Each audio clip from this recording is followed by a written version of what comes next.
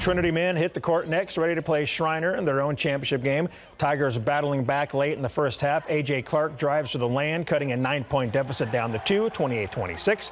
But the Mountaineers answer back. Bronson Evans to Camden Ross for the easy two. Schreiner leads 34-33 at halftime. Trinity takes control in the second half. Zach Finn draw, drains a straightaway triple, and the Tigers take an eight-point lead, getting the home crowd all kinds of fired up. But the Mountaineers claw their way back in front. Bo Cervantes drains a three of his own. Schreiner wins an epic game, 69-67, to claim the conference title.